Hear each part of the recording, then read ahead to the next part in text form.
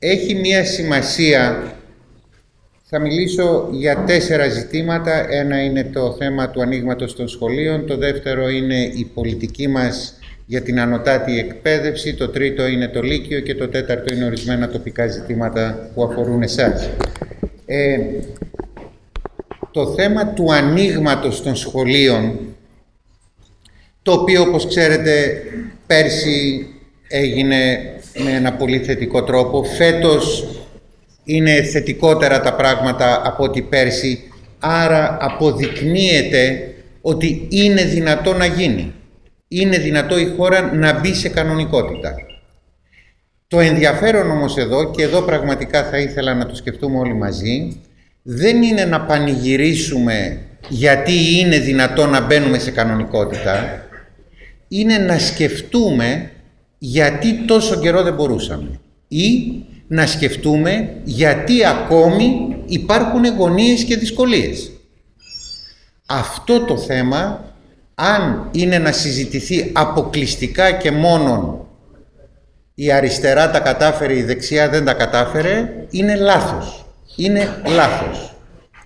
Διότι πρέπει να κατανοήσουμε όλες και όλοι τον χαρακτήρα των παθογενειών που ενισχύθηκαν προφανώς από άλλες πολιτικές δυνάμεις αλλά που αναπαράγονται και η αναπαραγωγή των παθογενειών πρέπει να μας βάλει μπροστά σε πολύ σοβαρές σκέψεις.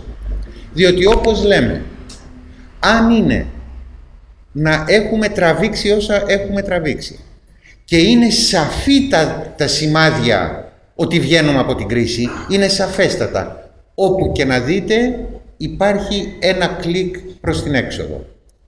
Και δεν θέλω τώρα να σας τρελάνω με, με λεπτομέρειες ούτε με, την, με, μια, με κάτι που θα το παρεξηγήσετε ως κυβερνητική προπαγάνδα. Αν είναι λοιπόν έχουμε τραβήξει ως κοινωνία αυτά που έχουμε τραβήξει. Αν τώρα πια αρχίζει να φαίνεται με μεγάλη σαφήνεια το γεγονός ότι βγαίνουμε από την κρίση και συνεχίζουμε τα παλιά, θα ξαναμπούμε με μαθηματική ακρίβεια στην κρίση. Και αυτό δεν είναι μόνο το δημοσιονομικό.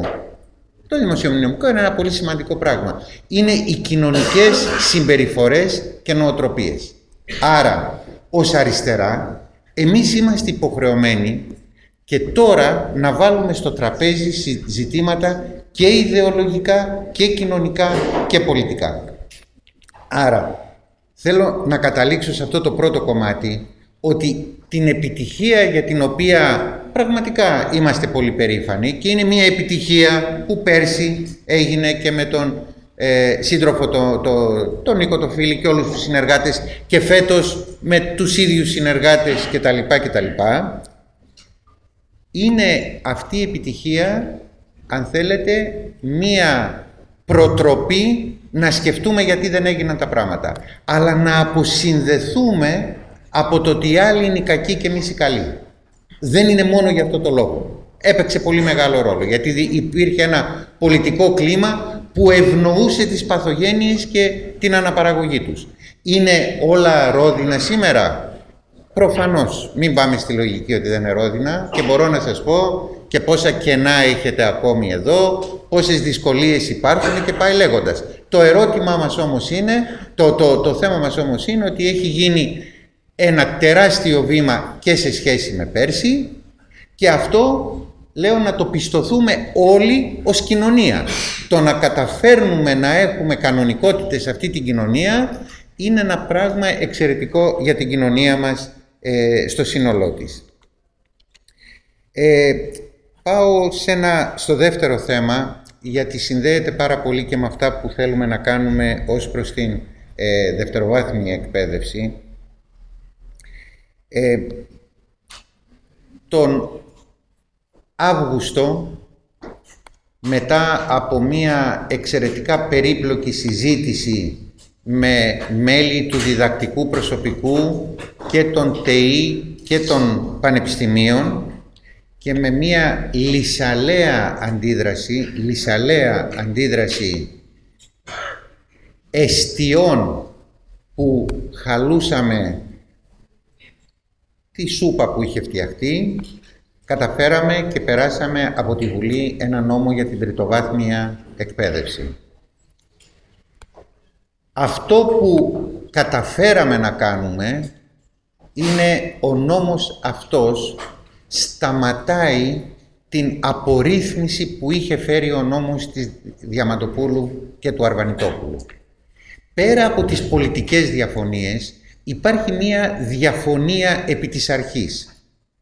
Δεν μπορούν οι θεσμοί, οι εκπαιδευτικοί θεσμοί, συμπεριλαμβανομένων λοιπόν των ΤΕΙ και των πανεπιστημίων, να απορριθμίζονται γιατί μέσα σε αυτή την απορρίθμιση δημιουργούνται νέες εστίες εξουσίας, νέες εστίες εξουσίας οι οποίες στηρίζονται πια κυρίως πάνω στο ότι μπορεί κανείς να πλουτίσει από αυτήν την απορρίθμιση.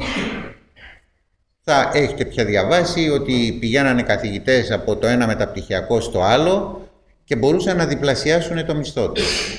Δεν καταλαβαίνω. Αν ένα, ένα μεταπτυχιακό έχει κάποια έσοδα και έχει τη δυνατότητα να πληρώνει έναν άλλον καθηγητή, γιατί δεν προκυρήσει τη θέση για τη διδασκαλία του μαθήματος σε, και να έρθει ένας νέος επιστήμονας και να πληρωθεί από αυτά.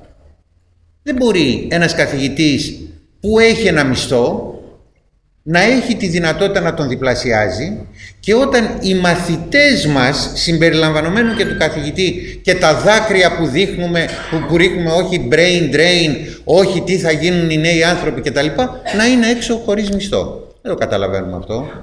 Εμείς λοιπόν βάλαμε μία τάξη σε αυτή την ιστορία. Δεν ξέρω αν είναι αριστερή ή δεξί τάξη και περίπου δεν με ενδιαφέρει. Το πανεπιστήμιο, όπως και όλοι οι εκπαιδευτικοί θεσμοί, πρέπει να λειτουργούν με βάση τους ακαδημαϊκούς κανόνες τελεία και παύλα. Αυτό όμως που καταφέραμε με αυτό το νόμο είναι, δεν θα μπω σε λεπτομέρειες, γιατί πολλές λεπτομέρειες είναι τεχνικές και μπορώ να σας απαντήσω σε όποιο επίπεδο θέλετε, αλλά θέλω να καταλάβετε και ένα θεμελιώδη στοιχείο του, που είναι η εξωστρέφεια που αποκτούν τα ανώτατα εκπαιδευτικά ιδρύματα με βάση αυτό το νόμο. Για πρώτη φορά ιδρύονται στο πλαίσιο των ανωτάτων εκπαιδευτικών ιδρυμάτων διετή προγράμματα σπουδών επαγγελματικού που θα δίνουν επαγγελματικά πιστοποιητικά ευρωπαϊκών προσόντων. Κοιτάξτε τι γίνεται μέχρι σήμερα. Τελειώνεις τα επαγγελματικά λύκεια, εγγράφεσαι στα ΙΕΚ και μετά με ένα αρκετά προβληματικό καθεστώς ως προς την ακαδημαϊκότητα των ΙΕΚ, δεν όλα το ίδιο προφανώς, και μετά εσύ προσπαθείς να βρεις ένα χώρο να κάνεις πρακτική άσκηση η πολιτεία λοιπόν σου λέει για να σου δώσω το πτυχίο πρέπει εσύ να βρεις να κάνεις πρακτική άσκηση άρα πας το θειό σου στον ένα στον άλλον και σου υπογράφει διάφορα χαρτιά ώστε να δώσεις εξετάσεις στον ΕΟΠΕΠ ώστε να σου δώσει το πιστοποιητικό. Εντάξει, ποιος θα στείλει το παιδί του στο ΕΠΑΛ; Σε ένα ΕΠΑΛ που τα τελευταία δύο χρόνια, μπορώ να σας πω, από όλες τις βαθμίδες έχουν γίνει εξαιρετικά σοβαρά άλματα. Μπορεί και τα καλύτερα. Εντάξει. Άρα, τι λέμε εμείς, λέμε, θα, θα μπαίνει στο ΕΠΑΛ. Έχουμε αυτόν τον εκπληκτικό θεσμό της μαθητείας που μας είχαν κατηγορήσει ότι είναι εργασία δωρεάν κτλ, κτλ. που δεν είναι έτσι και πληρώνουν τα παιδιά και πληρώνονται και ασφαλιστικές εισφορές των παιδιών. Έχεις τη μαθητεία ή αν θέλεις μπορείς να πας και να μπεις χωρίς εξετάσεις σε αυτές τις διετής δομές στα πανεπιστήμια όπου θα παίρνεις κατευθείαν όταν τις τελειώσεις αυτό το επαγγελματικό πιστοποιητικό ευρωπαϊκών προσόντων. Κοιτάξτε, η μεγάλη διαφορά είναι ότι θα υπάρχει μία ομπρέλα αυτών των διετών σπουδών σε κάθε ΑΕΗ, Πανεπιστήμιο ή ΤΕΗ, το οποίο θα εξασφαλίζει την ακαδημαϊκή εγκυρότητα αυτών των σπουδών. Δεν θα είναι μία διάλυση η οποία υπάρχει σήμερα, άρα θα είναι ο αντιπρίτανης των ε, ακαδημαϊκών υποθέσεων με όλους τους κοσμήτορες των σχολών θα αποτελούν την ακαδημαϊκή ε, επιτροπή. Το δεύτερο στοιχείο είναι ότι ιδρύουμε περιφερειακά ακαδημαϊκά συμβούλια στα οποία θα συνεπάρχουν οι ερευνητικοί φορείς, τα ΤΕΗ και τα πανεπιστήμια μιας περιοχής, ακριβώς για να δουν με ποιο τρόπο τα πανεπιστήμια, τα ΤΕΗ και οι ερευνητικοί φορείς μπορούν να συμβάλλουν στην αναπτυξιακή πορεία της περιοχής. Ξέρετε, μέχρι τώρα ιδρυόντουσαν ιδρύματα, κυρίως τμήματα, όπου το σκεπτικό ίδρυσης ήταν πόσα σουβλάκια μπορούν να αποφέρουν στην, σε, σε κάθε χώρο. Άντε και κάποια rooms to let. Αυτή ήταν η λογική. Ήτανε μέσα σε μια απίστευτη διαπλοκή και τώρα έχουμε να μαζέψουμε μια κατάσταση, θα εξηγήσω παρακάτω, που είναι εξαιρετικά περίπλοκη να μαζευτεί. Εμείς λέμε ότι αν θέλουμε να δούμε πώς μπορούν να παίξουν ρόλο στην ανάπτυξη μιας ε, περιοχής, αυτή υπερβαίνει το πόσα σουβλάκια καταναλώνονται σε μια ε, πόλη.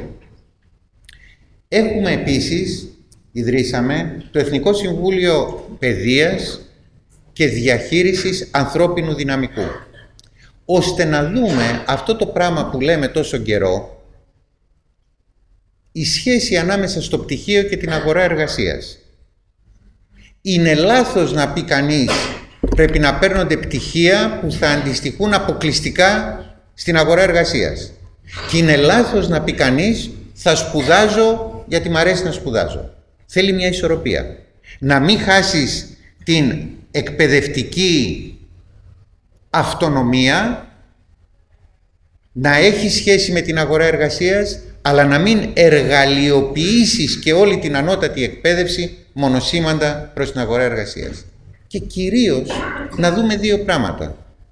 Το μέλλον των ορισμένων επαγγελμάτων και ποια επαγγέλματα αρχίζουν να διαμορφώνονται σιγά σιγά. Δεν σημαίνει επειδή υπάρχουν χι αριθμός επαγγελμάτων ότι αυτός θα συνεχίσει ως έχει.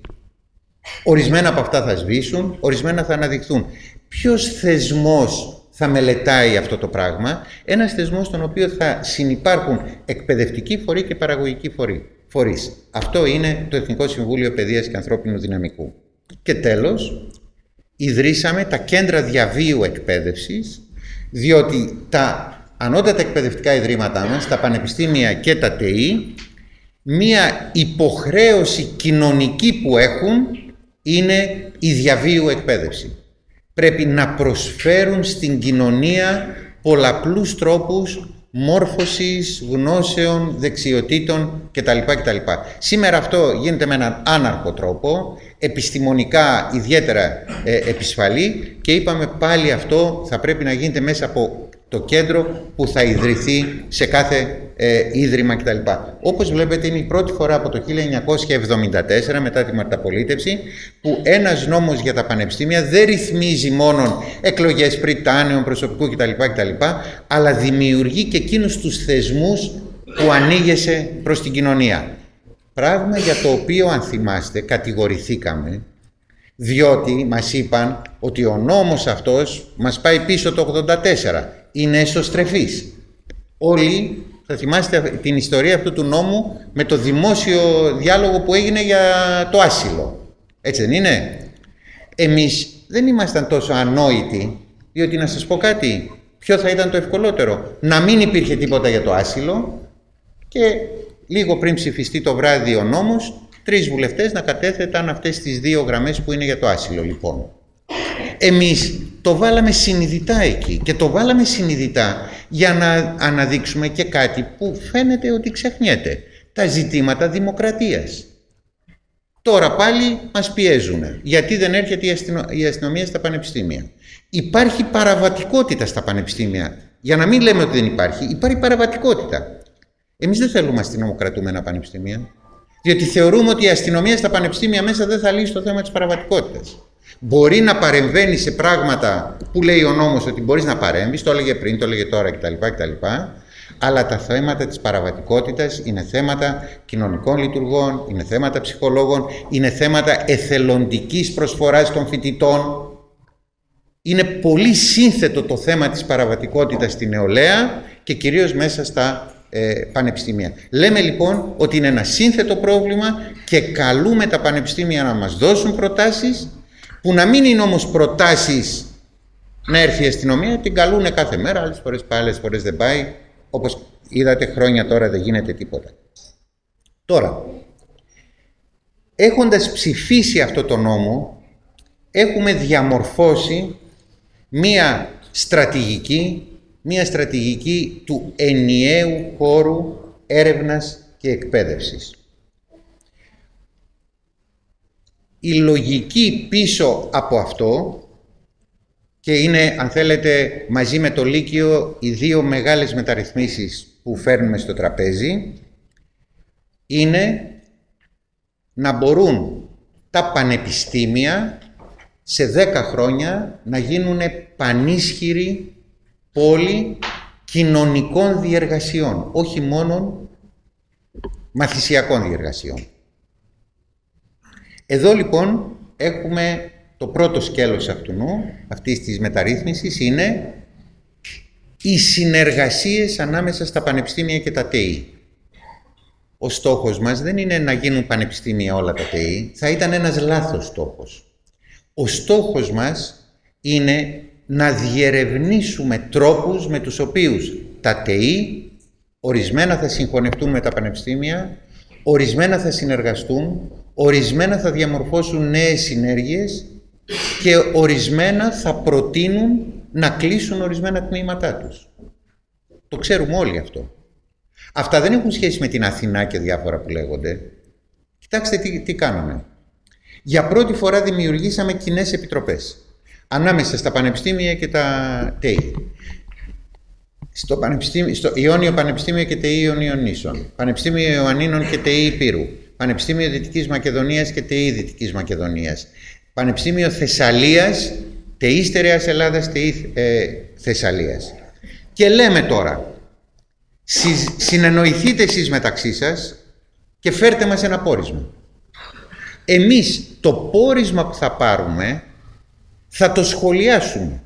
Το σχολιάσουμε. Θα πούμε αυτό μας φαίνεται λογικό, το άλλο μπορεί να μην μας φαίνεται λογικό και θα το στείλουμε πίσω στη συγκλήτους των δύο ιδρυμάτων του αντίστοιχου ΤΕΗ και του αντίστοιχου Πανεπιστημίου. Και θα πούμε, συζητήστε αυτό το σχέδιο και πείτε μας τις απόψεις σας. Εμείς θεωρούμε ότι εκεί που υπάρχουν συνενέσεις πρέπει να προχωρήσουμε σύμφωνα με το πόρισμα των Επιτροπών. Εκεί που δεν υπάρχουν συνενέσεις με το ζόρι δεν γίνεται. Θα βρούμε την Αθηνά μπροστά μας. Ακόμη προσπαθούμε να, να, να, να βρούμε μία άκρη σε αυτό το απίστευτο πράγμα που έγινε με το σχέδιο Αθηνάς. Κοιτάξτε όμως τώρα τι άλλο κάνουμε για να, για να σας πω για το βήμα παρακάτω. Όταν λέμε τα πανεπιστήμια πρέπει να αποκτήσουν μία σχέση με το περιβάλλον τους, λέμε Ιόνιο Πανεπιστήμιο που είναι στην Κέρκυρα, ΤΕΗ Ιωνίων Νήσων που είναι σε όλα τα υπόλοιπα και να δούμε ποια μπορούν να πάνε στην Κέρκυρα, ποια να γίνουν πανεπιστημιακά και ποια ενδεχομένως να τελειώσει η πορεία τους. Αν τώρα στη Ζάκυνθο π.χ.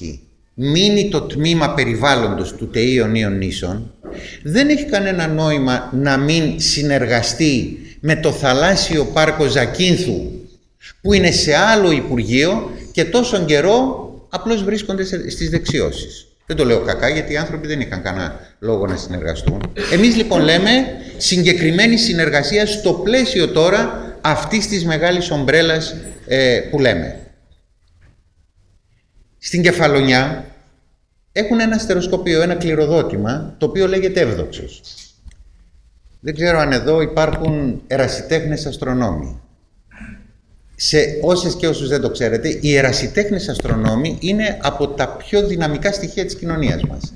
Και διεθνώς και ιστορικά είναι η εργασία του συμπληρωματική των εργασιών που γίνεται από τους επαγγελματίες. Πολλοί κομίτες έχουν το όνομά τους κτλ. κτλ. Μπορείς λοιπόν κάλλιστα την κεφαλονιά και τον εύδοξο να τον δώσεις, να τον διαχειρίζονται οι ερασιτέχνες αστρονόμοι. Αμέσως, αμέσως δημιουργείς μια κατάσταση στο πλαίσιο αυτού του νέου πανεπιστημίου, του ανοιχτού προς την κοινωνία, με τέτοιου είδους πρωτοβουλίες. Και μπορώ να σας πω κι άλλες για τα Ιόνια. Να σας πω τώρα κάτι για το ΤΕΗ Υπήρου και το Πανεπιστήμιο Ιωαννίνων. Στην Ήπειρο υπάρχει η γαλακτοκομική σχολή. Δυστυχώς οι περισσότεροι αν την έχετε ακούσει, την έχετε ακούσει με βάση αυτή την τραγική κατάσταση που είχε γίνει. Αυτή είναι μια παλαιού τύπου ε, σχολή, οι οποίες έχουν ημερομηνία λήξης και θα μετατραπούν σε ΕΠΑΛ κτλ. κτλ. Έχει όμως πολύ μεγάλες εκτάσεις. Λένε λοιπόν οι συνάδελφοι του Πανεπιστημίου Ιωνίνων και του ΤΕΗ Πύρου να ιδρύσουμε μια διετή, ένα διετές πρόγραμμα σπουδών γαλακτοκομείας. Ήρθαμε λοιπόν σε συμφωνία με το Υπουργείο Αγροτικής Ανάπτυξης που θα μας δώσει όλους αυτούς τους χώρους και τις δυνατότητες που έχει για την πρακτική άσκηση των φοιτητών.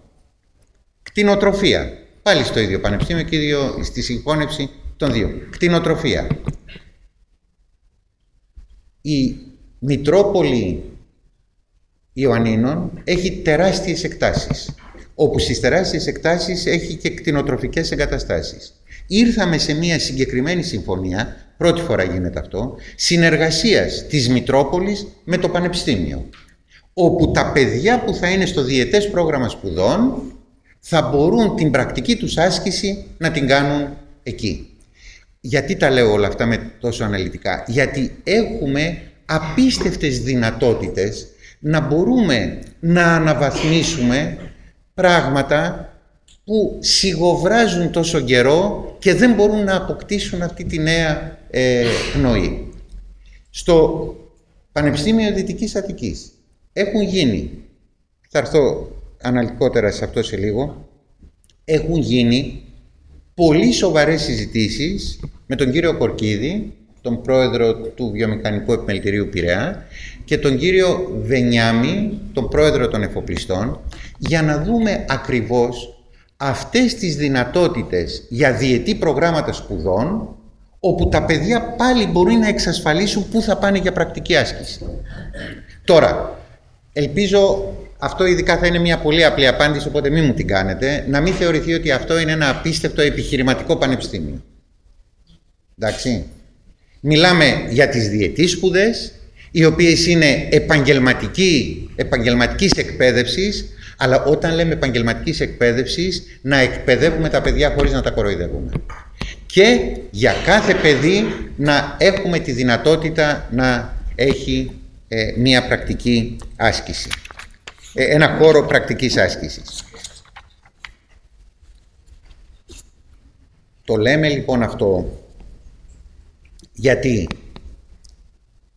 θεωρούμε το εγχείρημα που αρχίσαμε και το οποίο όσοι είστε του χώρου αν λέγατε πριν ένα χρόνο ότι θα ευδοκιμήσει έτσι όπως πάνε τα πράγματα τώρα όλοι θα μας θεωρούσαν τρελούς. Δηλαδή τη δυνατότητα συγχωνεύσεων, συνεργειών, συνομιλιών νέων προτάσεων ανάμεσα στα πανεπιστήμια και τα ΤΕΗ αυτή τη στιγμή έχουμε κάνει βήματα που ούτε και εμείς τα φανταζόμασταν. Και ο λόγος που έχει γίνει αυτός είναι επειδή η κοινωνία ήταν πολύ έτοιμη να δεχτεί κάτι τέτοιο. Μένα μου έχει κάνει εντύπωση. Στο ίδιο τραπέζι πανεπιστημιακοί και καθηγητές των ΔΕΗ και δεν τσακωνόντουσαν από την πρώτη στιγμή. Το έχω ζήσει αυτό το σύριαλ σε διάφορα τραπέζια.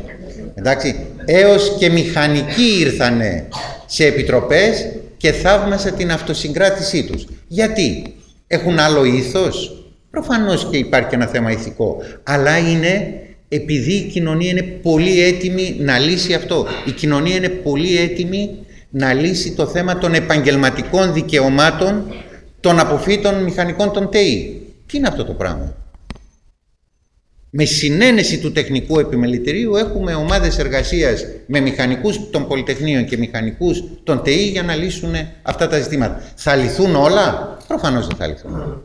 Θα λυθούν κάποια, θα λυθούν κάποια. Και αν λυθούν κάποια, τότε θα έχουμε απάντηση στον βασικό κίνδυνο της δημοκρατίας που έχουμε σήμερα. Και ο βασικός κίνδυνος της δημοκρατίας που έχουμε σήμερα είναι η συντεχνιοποίηση της κοινωνίας μας. Η κοινωνία μας δεν απειλείται ούτε από λοχαγούς, ούτε από τέτοια. Απειλείται από την πλήρη συντεχνιοποίησή της. Αυτό είναι ένα παραλυτικό στοιχείο η συντεχνιοποίηση σημαίνει ότι οι άνθρωποι αυτοί έχουν και κάποιο δίκιο. Δεν είναι ένα πράγμα που είναι άδικο και είναι απαράδεκτο και όλα να το ξεχάσουν κτλ. Και άρα θα πρέπει να δούμε πώς θα αρχίσουμε να λύνουμε αυτό το κουβάρι της πλήρους συντεχνιοποίησης της κοινωνίας μας. Και αυτά, η δυνατότητα να επιληθεί το θέμα των επαγγελματικών δικαιωμάτων των μηχανικών, είναι πραγματικά ένα πράγμα που θα λειτουργήσει καταλητικά προς όλες τις κατευθύνσεις και εγώ νομίζω, εγώ τουλάχιστον είμαι πάρα πολύ ε, αισιόδοξος ε, γι' αυτό. Και το τελευταίο μας ως, ως προς αυτό το ζήτημα ε, βήμα, ε, το τελευταίο, ε, η άλλη πρωτοβουλία είναι η ενοποίηση του ΤΕΗ Αθηνών και ΤΕΗ Πειραιάς σε Πανεπιστήμιο Δυτικής Αττικής. Εδώ θα πρέπει για όλα αυτά να υπάρχουν δύο πράγματα στα οποία δεν πρέπει να υποχωρήσουμε. Το πρώτο είναι η ακαδημαϊκότητα. Θα πρέπει να κάνουμε όλες τις προτάσεις μας με βάση ακαδημαϊκά κριτήρια. Και μετά να βάλουμε την πραγματικότητα και να δούμε αν η πραγματικότητα συμφωνεί, είναι συνεπής, συνεργάζεται με τα ακαδημαϊκά κριτήρια που βάλαμε. Εμείς λοιπόν στο, στο ΑΤΕΗ Αθηνών και, και Πειραιά θέσαμε από την αρχή ακαδημαϊκά κριτήρια. Και σήμερα που μιλάμε έχουμε λύσει περίπου το 90% των, των προβλημάτων. Των θεμάτων, γιατί είναι ένα πολύ δύσκολο εγχείρημα, γίνεται για πρώτη φορά. Δημιουργείται ένα πανεπιστήμιο από δύο ΤΕΗ. Προσέξτε όμως, δημιουργείται ένα πανεπιστήμιο από δύο ΤΕΗ με εντελώς καινούρια προγράμματα σπουδών, όχι μεταφορά των παλιών, με εντελώς καινούρια προγράμματα σπουδών. Άρα είναι μια πλήρης αναβάθμιση. Αυτό λοιπόν είναι ένα πράγμα που το κρατάμε. Το δεύτερο όμως είναι το εξής. Και αυτό ισχύει για όλη την Ελλάδα. Χωρίς να παρασυρθούμε ανεφόρον από την αδράνεια της τοπικότητας, πρέπει να σεβαστούμε και την τοπικότητα. Νομίζω έκανα την πιο δύσκολη συνάντηση που έχω κάνει ποτέ στη ζωή μου και ήταν με τους Πριτάνης του Πανεπιστήμιου Ιωνίων Νήσων, ε, του Ιόνιου Πανεπιστημίου ΤΕΗ Ιωνίων Νήσων, όλους τους δημάρχους των νησιών και όλους τους βουλευτές. Δεν ήταν μια εύκολη συνάντηση. Ήταν όμως μια συνάντηση που στο τέλος κατέληξε ομόφωνα σε διάφορα πράγματα που είναι πολύ χρήσιμα όταν θα τα ξανασυζητήσουμε. Αυτό είναι καινούρια πράγματα για τη δημοκρατία, είναι καινούρια πράγματα για τις κοινωνικές συνεννοήσεις. Ξέρετε, οι δήμαρχοι, οι βουλευτές κτλ. δεν είναι όλοι του ΣΥΡΙΖΑ, είναι από όλα τα κόμματα, δηλαδή δεν είναι το κομματικό το, το, το θέμα εκεί. Θα μου πείτε, ωραία, λες όλα αυτά, και τι κάνεις στην Πελοπόννησο, τι κάνεις στη Δυτική Ελλάδα ανάμεσα σε συνεννοήσεις, ανάμεσα σε πανεπιστήμια και ΤΕΗ; Εμείς κάναμε την πρότασή μας. Αν κάποια ιδρύματα δεν θέλουν να συνεργαστούν, δεν θα συνεργαστούν. Και θα πάμε την επόμενη μέρα. Δεν θα επιβάλλουμε οτιδήποτε αν δεν υπάρχουν συνενέσεις. Αλλιώτικα ξέρουμε ότι θα το βρούμε μπροστά μας. Και για να υπάρξουν συνενέσεις επίσης, ζητάμε όλα όσα σας είπα μέχρι τώρα να γίνουν σε ένα πλαίσιο πενταετούς στρατηγικής του κάθε Ιδρύματος. Το κάθε Ίδρυμα να μας πει πώς βλέπει τον εαυτό του σε πέντε χρόνια. Παραδείγματος χάρη, η ίδρυση νέων πανεπιστημιακών τμήματων. Η επιστήμη δεν, κάθεται. Και η επιστήμη δεν είναι μόνο προχωράει σε ένα τομέα, δημιουργεί και νέους τομείς, οι οποίοι πολλές φορές δεν αντανακλώνται σε αυτά που κάνουμε. Άρα πρέπει να πούν και τα πανεπιστήμια μας τι θέλουν ε, απ' εδώ και μπρος. Και βεβαίως μεταρρυθμίσεις όπως και αυτή που θα τελειώσει για το Λύκειο δεν μπορεί να γίνουν χωρίς γενναία χρηματοδότηση. Δεν μπορεί να γίνουν μεταρζανιές. Υπάρχει δέσμευση λοιπόν της κυβέρνησης και ως προς το υλικοτεχνικό αλλά και ως προς το ανθρώπινο δυναμικό γενναίες αυξήσεις τώρα που τελειώνει η κρίση. Μάλιστα, έχουμε συγκροτήσει μία επιτροπή για τα οικονομικά της εκπαίδευσης θα σας φανεί περίεργο, αλλά δεν ξέρουμε πόσα ακριβώς ξοδεύουμε για την εκπαίδευση, γιατί ξοδεύουμε από πολλά υπουργεία σε πολλά επίπεδα κτλ. Είναι μια επιτροπή που έπρεπε να έχει γίνει πριν 150 χρόνια, δεν έγινε. Εν πάση περιπτώσει, είναι μια επιτροπή στην οποία συμμετέχουν και τεχνοκράτες άλλων κομμάτων. Εμείς δεν βγήκαμε να πούμε ότι ο Α εκπροσωπεί το, το τάδε κόμμα, αλλά ζητήσαμε από τα κόμματα και μας δώσαν, όχι όλα τα κόμματα, αλλά μας δώσαν τεχνοκράτες, οπότε έχουμε φτιάξει τώρα ένα μαθηματικό μοντέλο των οικονομικών της εκπαίδευσης. Αν αύριο δηλαδή έχουμε 100 εκατομμύρια, αν τώρα μου λέγατε έρθει ο Τσακαλώτος και πει πάρε 100 εκατομμύρια. Δεν έχουμε ένα σχέδιο για το πώς θα τα ξοδέψουμε. Θα τα ξοδέψουμε για να κλείσουμε τρύπες. Εμείς δεν θέλουμε να κλείνουμε τρύπες. Εμείς θέλουμε να βλέπουμε σενάρια μεταρρύθμισης που αυτά θα κλείνουν τρύπες. Αυτό είναι ένα πολύ σύνθετο εγχείρημα το οποίο ε, νομίζουμε ότι στο πλαίσιο αυτής της Επιτροπής το έχουμε καταφέρει. Τώρα, θέλω να συζητήσουμε το θέμα του Λυκείου. Και θέλω πραγματικά τη γνώμη σας και τις όποιες κριτικές σας προφανώς γι' αυτό. Νομίζω είναι λάθος και βεβαίως ο τύπος και τα λοιπά κάνει τη δουλειά του όπως την κάνει να συζητάμε τη λύση χωρίς να συζητάμε ποιο πρόβλημα πάμε να λύσουμε. Γιατί αν δεν συμφωνήσουμε στο πρόβλημα, τι νόημα έχει να, να συζητάμε τη λύση; Κανένα απολύτως. Ας συζητήσουμε λοιπόν το πρόβλημα. Υπάρχει σήμερα τρίτη ηλικίου. Επιτελεί η τρίτη ηλικίου ένα εκπαιδευτικό και παιδαγωγικό ρόλο. Ναι ή όχι; Δεν υπάρχει. Δεν νομίζω να υπάρχει ένας πολύ. Αυτό, αν πει κανείς ότι φταίνε οι καθηγητές και οι εκπαιδευτικοί, θα μας βρει πολύ βίαια απέναντί του. Όχι γιατί θέλουμε να κολακεύουμε τους καθηγητές, γιατί μια ολόκληρη κοινωνία έχει συνενέσει να μην έχουμε τρίτη ηλικίου. Αυτό έχει γίνει. Ολόκληρη κοινωνία, δηλαδή και οι αριστεροί. Έχουμε συνενέσει ότι η τρίτη ηλικίου δεν πρέπει να παίξει κανένα ρόλο και τι έχουμε κάνει, με αυτήν την συνένεση έχουμε κάνει μέρος της δημόσιας δωρεάν εκπαίδευσης έναν κερδοσκοπικό θεσμό. Εμείς συνενετικά, εμείς έχουμε πει τα παιδιά μας για να μπουν εκεί δεν θα μπουν μέσω του δημόσιου σχολείου και θα μπουν μέσω ενός κερδοσκοπικού μηχανισμού ε, ε, ε, θεσμού και το οποίο αυτό το συναποφασίσαμε σιωπηλά. Εντάξει. Αυτό είναι πρόβλημα.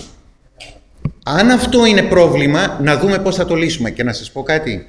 Πάλι το χειρότερο είναι να ανοίξουμε μέτωπο στα φροντιστήρια. Διότι τα φροντιστήρια είναι και ιστορικά δικαιωμένα. Ξέρετε, από τη δεκαετία του 50 ήταν οι μόνοι χώροι και που οι αριστεροί βρίσκαν δουλειά, αλλά ήταν και αυτοί που εξισορρόπησαν τις μεγάλες διαφορές ανάμεσα στην επαρχία και τις πόλεις. Εντάξει, δεν είναι το πρόβλημά μας τα φροντιστήρια. Το πρόβλημά μας είναι η νοοτροπία της κοινωνίας που τα, έχει, που τα καθιστά σαν μέρος του εκπαιδευτικού μας συστήματος. Άρα η αποδοχή του προβλήματος είναι και η αποδοχή ενός μετόπου ιδεολογικού προς την κοινωνία για να αλλάξει αυτή η νοοτροπία. Το δεύτερο, όσες και όσοι είστε εκπαιδευτικοί και έχετε τη χαρά να είστε και στην τρίτη ηλικίου, μετά το Μάρτιο, από το Φεβρουάριο, αρχίζουν τα παζάρια για τις απουσίες. Αυτό βάζει αμέσως αμέσως τα παιδιά και τις οικογένειες σε ένα ηθικό πλαίσιο το οποίο δεν μπορούμε να το δεχθούμε. Δεν πρέπει να το δεχόμαστε ως κοινωνία, δεν πρέπει να το αποδεχόμαστε ως εκπαιδευτικοί. Να λοιπόν και ένα άλλο στοιχείο. Άρα το πρώτο ερώτημα είναι θέλουμε να είμαστε μια κοινωνία με ένα λύκειο που η τρίτη λυκείου να παίζει έναν εκπαιδευτικό, παιδαγωγικό κτλ. κτλ ρόλο. Η απάντηση είναι οπωσδήποτε ναι. Ας έρθουμε τώρα όμως στις πανελλαδικές εξετάσεις. Κάθε φουρνιά που δίνει εξετάσεις κάθε χρόνο κοστίζει στις οικογένειες 2 δισεκατομμύρια ευρώ. Εντάξει. Κοστίζει 2 δισεκατομμύρια ευρώ ώστε το 75% όσων μπαίνουν στο πανεπιστήμιο να μην πηγαίνουν να σπουδάσουν εκεί που θέλουν να σπουδάσουν. Λίγο περίεργο σύστημα. Και χαλάς την τρίτη ηλικίου και τι κάνεις Έλα, ένα μικρό ποσοστό πάει να σπουδάσει εκεί που θέλει. Και δεν σας λέω τις ιατρικές και τα πολυτεχνία. Θέλει να σπουδάσει φυσική, θέλει να σπουδάσει ιστορία. Και μένει εκτός ενώ έχει πάρει πάνω από τη βάση άλλη παθογένεια του συστήματος. Το πιο σοβαρό όμως. Τι έγινε στην κοινωνία μας; Στην κοινωνία ένας αδιάβλητος θεσμός που είναι οι εισαγωγικές εξετάσεις ιδεολογικά μετατράπηκε σε έναν αξιόπιστο θεσμό. Άλλο αδιάβλητο, άλλο αξιόπιστο. Έτσι δεν είναι; Το να λειτουργούν στην ώρα τους και τα λοιπά σε μια κοινωνία που είναι λίγα τα αδιάβλητα πράγματα, ήταν πολύ λιγότερα πριν, αυτό όλοι μας το ιδεολογικοποιήσαμε ότι είναι και εκπαιδευτικά αξιόπιστο. Και βλέπεις, έρχονται παιδιά στο πρώτο εξάμεινο του Πολυτεχνείου και το πρώτο εξάμεινο των φυσικομαθηματικών σχολών και κόβονται 75%. Γιατί ενώ είναι τα ίδια πράγματα που κάνανε στο Λύκειο και το φροντιστήριο, τα κάνεις με έναν άλλο τρόπο. Αυτό είναι το επόμενο. Δηλαδή, αλγοριθμοποιήθηκε η γνώση. Στα φροντιστήρια και τα ιδιαίτερα μαθαίνεις τεχνικές για το πώς θα περάσεις εξετάσεις. Δεν μαθαίνεις αυτό που εμείς θεωρούμε ένα γνωσιακό σύστημα στη φυσική που έχει όλα αυτά που έχει ή στα μαθηματικά ή στην ιστορία πρέπει να τη μάθεις την ιστορία απ' έξω. Αυτό είναι το κριτήριο επιτυχίας σου. Αυτό είναι το κριτήριο επιτυχίας του φροντιστηρίου.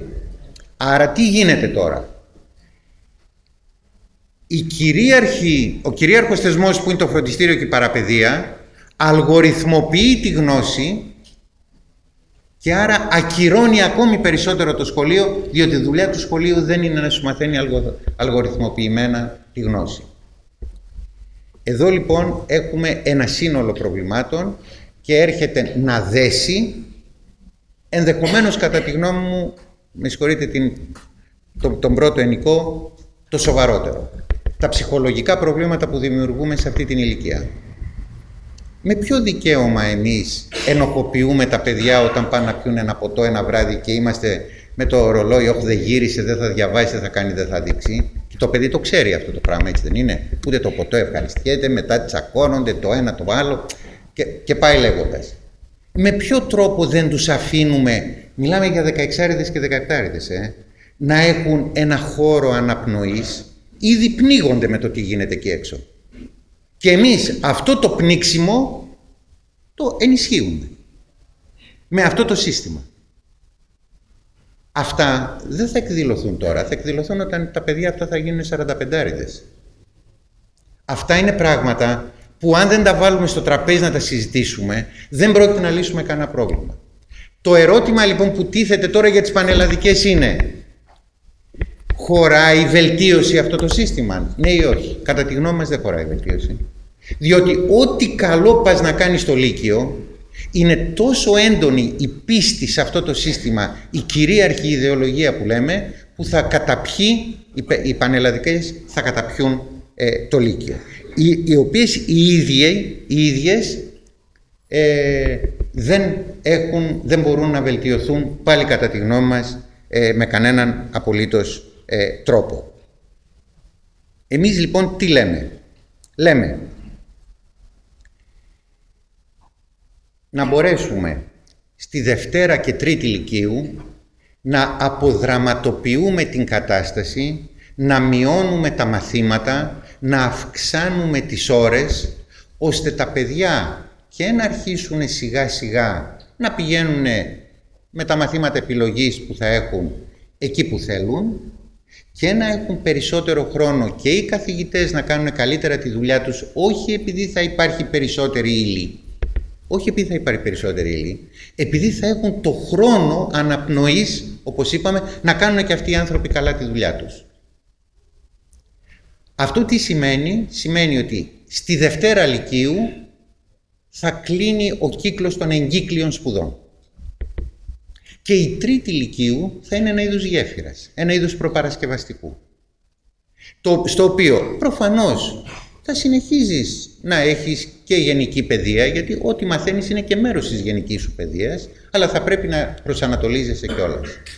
Θα βρούμε και προτείναμε πολλαπλούς τρόπους, πολλαπλούς τρόπους το πώς θα υπολογίζεται το απολυτήριο και με το βαθμό του απολυτηρίου θα μπαίνει στο πανεπιστήμιο. Αυτή είναι η αρχιτεκτονική. Υπάρχουν άπειρες λεπτομέρειες, άλλες έχουμε κάνει, άλλες δεν τις έχουμε κάνει, άλλες δεν τις ξέρουμε. Αλλά να, να σκεφτούμε αυτό. Δηλαδή, ότι θα μπορείς να μπαίνεις με το βαθμό απολυτηρίου, τον οποίο όμως δεν θα παίρνεις με ένα μόνο τρόπο, θα υπάρχουν πολλαπλοί τρόποι που θα υπολογίζεται αυτό. Και για να ξεκαθαρίσουμε κάτι άλλο.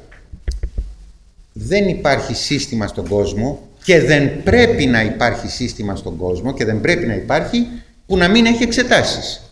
Να ξέρουμε τι λέμε. Άλλο εξετάσεις, άλλο τον στείνω στον τοίχο. Είναι δύο διαφορετικά πράγματα. Τον στείνω ψυχολογικά, τον στείνω οικονομικά, τον στείνω γνωσιακά κτλ.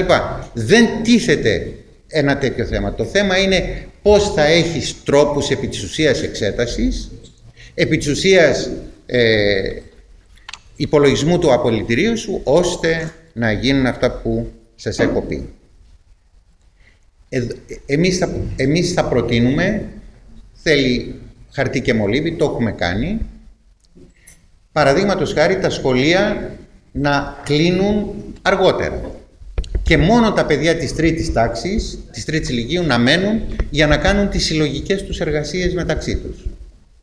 Θα είναι αγγελούδια όταν κάνουν τις εργασίες, προφανώς και όχι. Άλλος θα είναι λίγο πιο τεμπελάκος, άλλος θα πηγαίνει να παίζει μια μπασκέτα, ο άλλος θα. Ε, κτλ. Κάποιος θα τους λέει ρε παιδιά, ήρεμα, να την τελειώσουμε τη δουλειά κτλ. Αυτό όμως είναι μέρος της παιδείας τους. Αυτό είναι μέρος της παιδείας τους. Να κάνουν εργασίες με αυτόν τον τρόπο.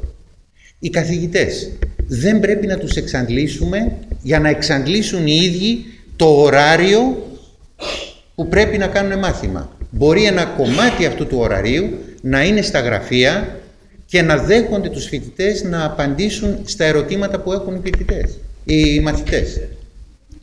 Το λέμε αυτό διότι εάν τυχόν δεν αλλάξει πλήρωση η σχολική ζωή, δεν θα αποκτήσει κανένα κύρος. Τώρα, αυτό τι σημαίνει, πατάμε ένα κουμπί και γίνεται, προφανώς όχι. Υπάρχει ένα ιδανικό μοντέλο, προφανώς όχι.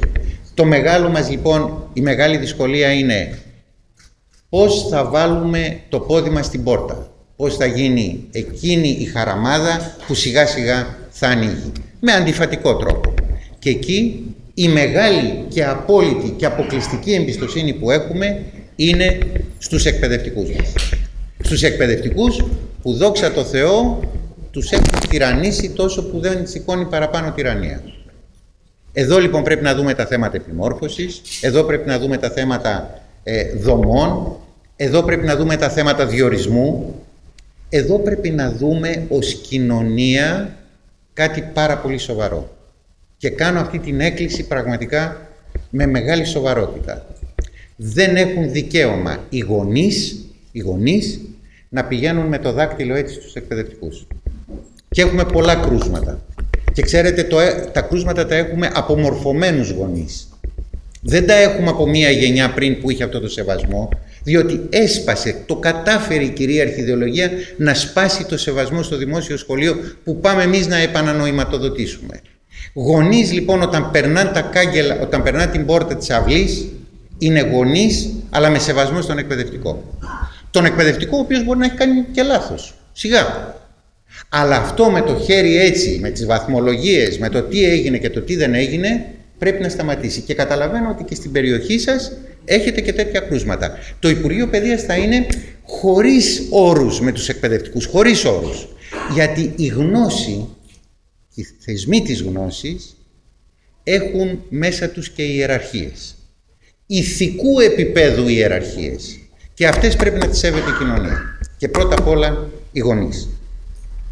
Εμείς λοιπόν λέμε ότι αν τυχόν μπορέσουμε από τη μία μεριά να συγκροτήσουμε ένα πρόγραμμα όπως σας προσπάθησα να σας το περιγράψω.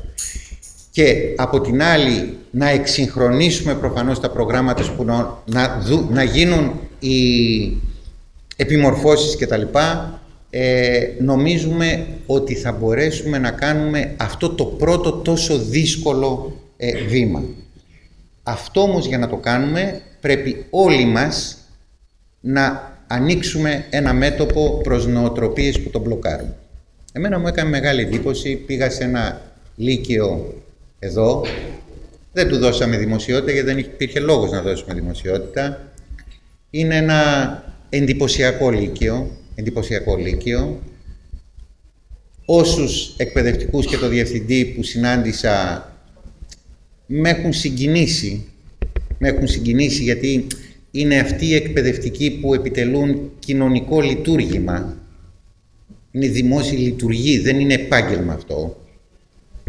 Και μίλησα με τα παιδιά εκεί. Και μου έκανε εντύπωση πόσα πολλά παιδιά πιστεύουν βαθύτατα σε αυτά στα οποία κάνουμε κριτική. Εδώ λοιπόν υπάρχει ένα πολύ σοβαρό ζήτημα. Γι' αυτό σας λέω ότι είναι ένα ζήτημα που πρέπει να συζητηθεί σε όλα ε, τα επίπεδα. Θα ήθελα να τελειώσω με δύο τοπικά θέματα. Μου τα είπαν οι συνάδελφοι εδώ. Νομίζω είστε από τις πιο προνομιακές περιοχές ως προς τον Περιφερειακό Διευθυντή, τους Διευθυντές Εκπαίδευσης. Ε, το ένα έχει να κάνει με μία πισίνα που καταλαβαίνω ότι σας έχει ταλαιπωρήσει πάρα πολλά χρόνια. Νομίζω ότι μπορούμε κάλλιστα να την προχωρήσουμε. Ε, καταλαβαίνω ότι μέσω του Δήμου θα πάρει κάποιους ε, γυμναστές από ε, τη Γενική Γραμματεία Αθλητισμού ε, και να κάνουμε εμείς ό,τι μπορούμε για να γίνει αυτό. Είναι μία δέσμευση, καμία σχέση με ε, προεκλογικά κτλ. κτλ. Το δεύτερο είναι, νομίζω πρέπει να βάλουμε μπρος την ε, πρόταση που κάνει η πρωτοβάθμια εκπαίδευση, η Διεύθυνση Πρωτοβάθμιας Εκπαίδευσης για Δημοτικό Σχολείο στις Φυλακές Κορυδαλού. Ε, έχει πάρα, πάρα, πάρα πολύ μεγάλη σημασία να ενισχύσουμε τις εκπαιδευτικές διαδικασίες στις φυλακές. Αυτό δεν το κάνουμε για φιλανθρωπικούς λόγους, για να το βγάλουμε από τη μέση. Ε, οι στατιστικές λένε ότι τα άτομα που πάνε σε σχολείο μέσα στη φυλακή, από τα άτομα που πάνε, επιστρέφουν στη φυλακή μόνο το 30%. Σε αντίθεση με αυτούς που δεν πάνε και η επιστροφή είναι το 70%. Εντάξει. Μαζί με το Υπουργείο Δικαιοσύνης τώρα θα περάσουμε ένα νόμο που θα αναβαθμίζουμε πάρα πολύ αυτές τις λειτουργίες στις φυλακές, αλλά νομίζω ότι είναι πολύ όριμο να μπορέσουμε να κάνουμε ε, το Δημοτικό Σχολείο που είναι και πρόταση Άρα είναι δέσμευσή μας να γίνει το δημοτικό μέσα στις φυλακές Κορυδαλού, ώστε αυτοί οι άνθρωποι να μπορούν να παρακολουθήσουν το σχολείο δεύτερης ευκαιρίας που ήδη λειτουργεί ε, μέσα στον, ε, στο, στις ε, φυλακές. Ε, με συγχωρείτε αν φλιάρισα, ε, είμαι όλος αυτιά να ακούσω τις παρατηρήσεις σας. Ευχαριστώ πολύ.